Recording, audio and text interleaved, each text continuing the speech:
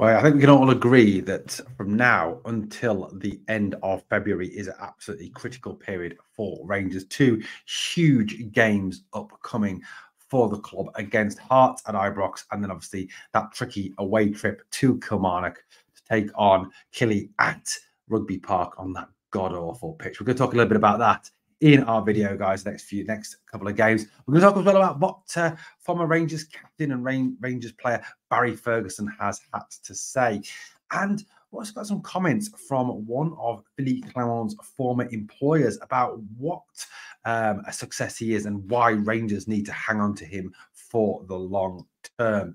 Well, let's obviously start with the first, the most obvious thing that is upcoming. Now, on Saturday, we take on Hearts at Ibrox. And I think, you know, we can all agree that this will be a game that is perhaps a little bit trickier than, than, than perhaps it has been in the past. Steven Naismith will have Hearts bang up for this game. He will have them ready to go, ready to fly, ready to really attack Rangers. And they'll want obviously some modicum of revenge um, after Rangers obviously beat them 2 1 in the last meeting at Ibrox.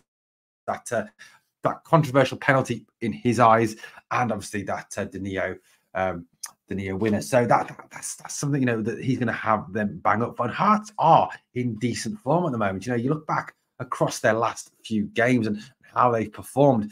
Um, you know, 2 0 at home against Motherwell, a 4 1 away win at Airdrie, a 1 0 away win at St Johnstone, a 3 2 away win at Dundee, a 2 0 win over Aberdeen, a 3 2 win over Dundee, a 2 1 win over Spartans in the Cup, a 2 1 over Hearts, 2 0 over Ross County, a 1 0 victory at um, Hibs, a 2 0 win over St Mirren, a 2 0 away victory at Celtic Park.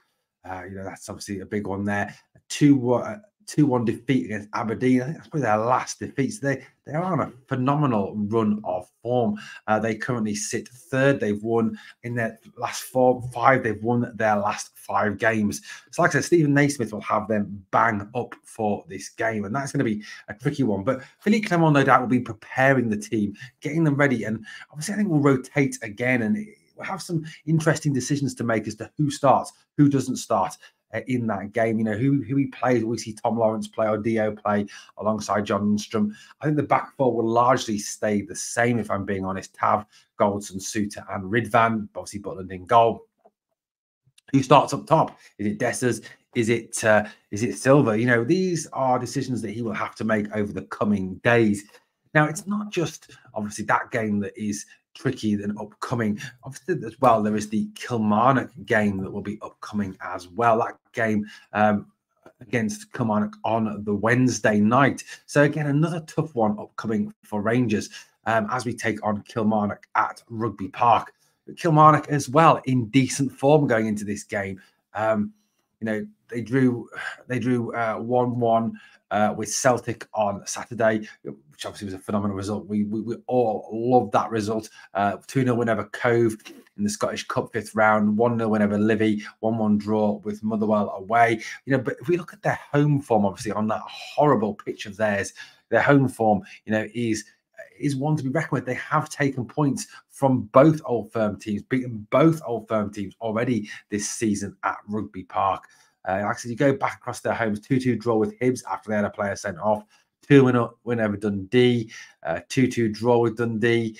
Um, what else we got here? 2 1 win over St Johnstone, 2 1 win over Celtic, and a their last defeat, I think, at homecoming against Hearts. So, you know, look, it is going to be a tricky tie, and Derek McInnes will have them bang up for this game and have them flying, absolutely flying into tackles um, against us. And like I said, it is a pretty awful pitch out there, uh, that hideous, horrible plastic surface at Rugby Park. And, um, you know, it, again, these are two games. If we can come through these two games with six points, it will make such a huge difference, I think. And, you know, I, I, honestly think, you know, if, if you evaluate that lot across the city, they will be sitting there thinking, yeah, these are the two games. Don't worry, Rangers are going to drop points in these next two games.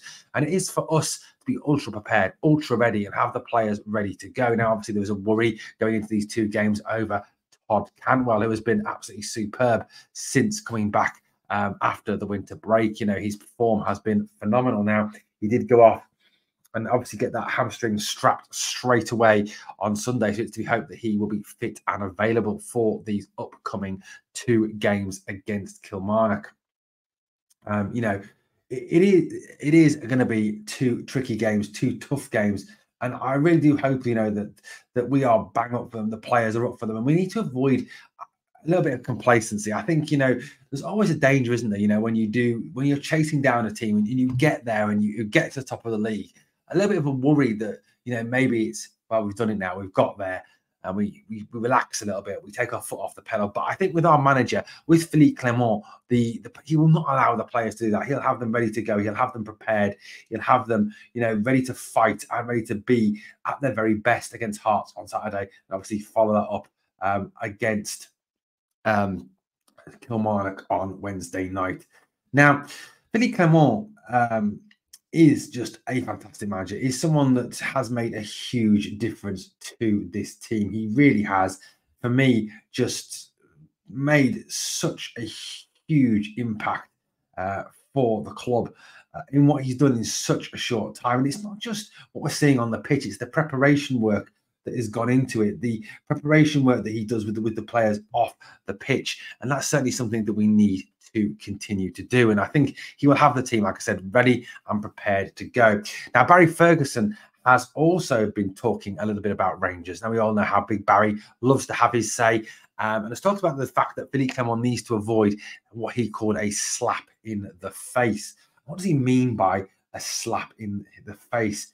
Um, this is what he had to say when he was talking on his Go Football radio show. Um, you know, he talked obviously about the fact that we've got two tough fixtures upcoming, like I've said, against Hearts and Killie. And he was cautious and he warned the Rangers players against any complacency. He said that we need to stay grounded, we need to stay um, focused on what we've what we've got. And he said that there needs to be no more slipping up. You know, the fact that we've clawed this back and got this title in our hands, you know, it, it is one game at a time. It is one week at a time, as Philippe Clement always preaches. And and Barry Ferguson said on his Go Radio show, he says, you don't want to get carried away and get a slap in the face. He says, enjoy it, enjoy it on the way back, but you need to get the blinkers on. Hearts will come and Steven Naismith will fancy his chances coming to Ibrox. They need to keep their feet on the ground. I said last week both Rangers and Celtic would win all their games up to the April the 7th. How wrong was I? Celtic drop a couple of points, but then Rangers have a tricky place to go. Kilmarnock. That's going to be a tough one for Rangers, but they seem like they're a different place just now. The most important thing is they don't get carried away. They've got there, but the hard work is still to be done. And Barry Ferguson's right in this. He says, you know, the hard work is still to be done. You know, yes, it is great that we've got to the top of the league. Yes, it is great that we are, or that we are up there. That uh, that Big Phil has got us in a position to obviously go on and you know really have this in our own hands now. But like Barry Ferguson says, we've got to avoid that complacency, avoid that. Uh, that uh, getting carried away with things. And I think one of the things that's been really impressive has been the way that Philippe Clement has got the team to have what has been, for me, a change of mentality, a change of focus. You know, you look at that game against St Johnstone the other day, in the past, you know, look, I admitted I was worried going into that game. I was a bit nervous going into that game. Why? Because I remember what happened in the past. I remember the defeats. I remember the draws. I remember those games where we slipped up and lost points we shouldn't have done. You know, that, that, that is the Rangers of the past. And I think we're always kind of scarred by that, no matter what Clement has done. And, and Clement's done, don't get me wrong, has done a fabulous job. And I think has us playing some absolutely brilliant football. And, you know, this man, it has, is constantly preaching this one week at a time, one game at a time, one month at a time. Stay focused, you know, shutting out the external noise as he as he puts it.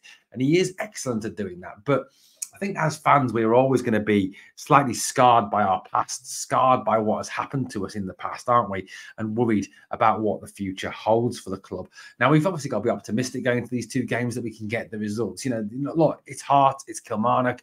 As long as we have the respect for them, as long as we play with that uh, with that passion and that quality that we've played with so far in the last couple of games, you know, we, we are we're more than capable of getting good results at uh, against these teams upcoming against Kilmarnock and Hearts.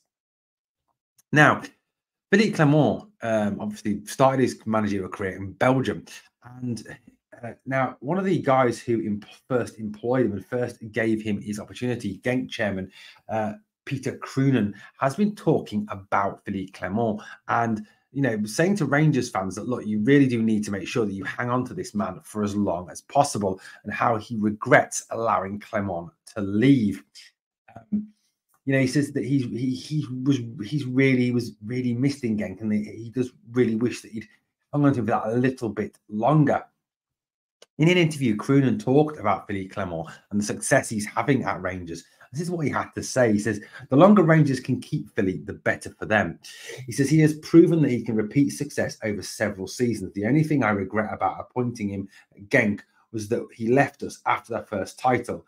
We asked him to stay, but he decided to leave. Now, I think he's right in this, you know, in what he says.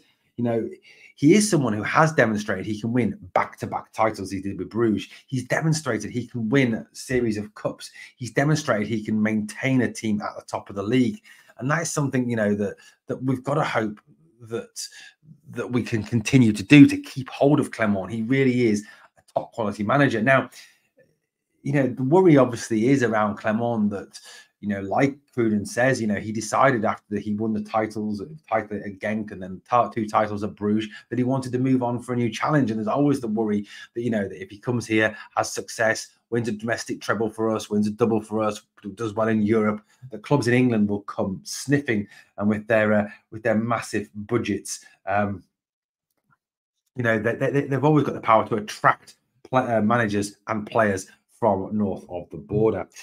Um, you know, he's he, he, talked a bit more about Croonen about Philippe Clement. He said, um, if you look at the history of Philippe, he made us champions in his second year as head coach.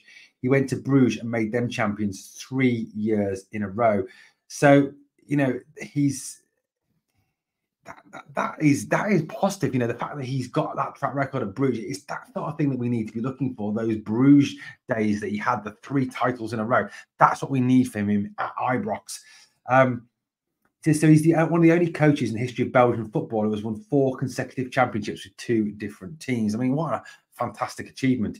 He says, if I'm really honest, I can say I believe to an important extent we only played Champions League because Philippe was our head coach. I can say the same for Bruges. I don't think they would have played three times in the Champions League if it hadn't been for him. So his impact on teams that he coaches is really very important. I'm not surprised at all that he's been really successful in Glasgow already.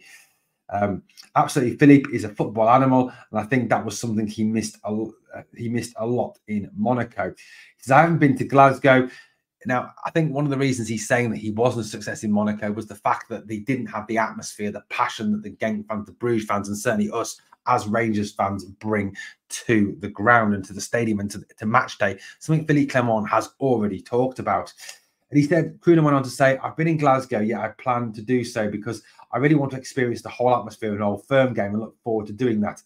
I'll be sending him a text to tell him that. We, we communicate not for, not every week or every month, but we are still in contact because in my time as president, I really appreciate a lot that he's somebody I was able to work well with. Now, it's interesting to say, isn't it? You know, that an ex-chairman still has such positive things to say about Clement, and it really does show that you know the board and we are in the perfect place with this manager to really kick on and be successful his work, his his passion, his his his desire, his love of football is something he's clearly transmitting to the players. And it's helped with that sea changing mentality that we're seeing. And that gives you a little bit more optimism, I think, going into these two games that perhaps in the past would be games where we would historically trip up and drop points. You know, I still be nervous. Of course I will on Saturday and Wednesday. Of course I will. It's it it's it's the it's the past that affects you. It always does, and it always will do. One of the little side, a little aside before we finish the video this morning, uh, this afternoon, or this evening, depends on when you picked it up, is this. PSV Eindhoven were playing in the Champions League last night um, against Borussia Dortmund, um, and they drew their game uh, with Dortmund um, uh, Luuk de Jong penalty in the 56 minutes, maintaining uh, that game. Now, apparently, that means that uh, they haven't lost at the Philips Stadion now for 18 months. Who was the last team to be successful and win in the Philips Stadion? Yes, that's right. It was Glasgow Rangers in that European tie the other year under Gio van Bronckhorst. So apparently, we are the last team to beat PSV Eindhoven at home. Uh, they're very impressive 18 month unbeaten record. Uh, obviously, uh, started after they lost to us. There we go. So the side, guys, little note there for you, just a bit, a bit of a, a, positive from the past there. Well, guys, let me know what you think of what we discussed in the video this morning, this afternoon, or this evening, depending obviously when you've picked up the video. Thank you for watching Glasgow Rangers Nation. As always, guys, if you can smash the sub, that'd be brilliant to help the channel to keep on growing. And obviously, smash the like on the video as well. On the way out, that's the first thing I always ask of you. The second thing is remember always, we are the people.